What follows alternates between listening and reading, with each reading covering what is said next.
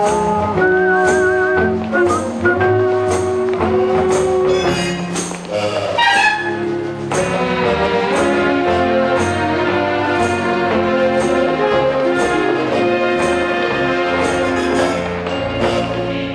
this is terribly important to me. Does the doctor give green stamps? Green stamps? Yes. No, ma'am, she doesn't. She doesn't? No, ma'am. She doesn't.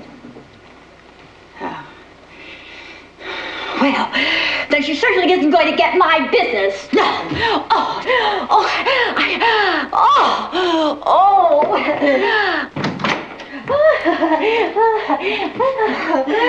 oh.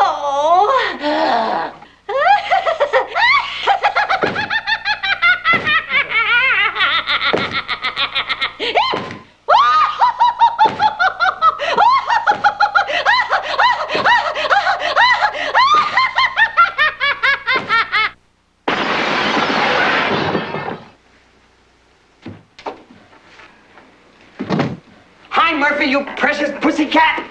Mr. Pride, Mr. Pride, I must ask you not to do that. Dr. Accord cannot be disturbed when she has a patient.